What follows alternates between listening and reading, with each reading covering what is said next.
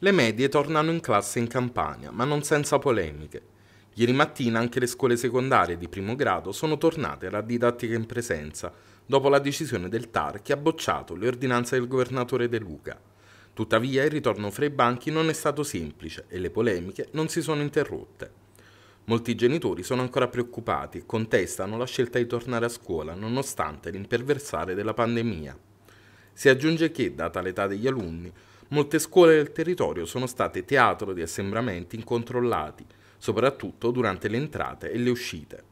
In relazione alle notizie e alle immagini pervenute, l'unità di crisi della Regione Campania ha invitato i sindaci a predisporre mirati servizi di controllo da parte delle polizie municipali, in particolare nelle fasi critiche della giornata.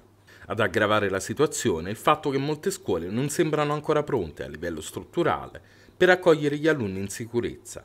Un genitore di Torre del Greco ci segnala che nella scuola dei figli, non essendoci ancora un sistema di ventilazione adeguato ad impedire la diffusione del virus, gli alunni sono costretti a fare lezione con le finestre spalancate, soluzione ben poco condivisibile in pieno inverno. Alle famiglie sarebbe stato anche richiesto di munire i figli di un plaid da indossare in classe durante le lezioni.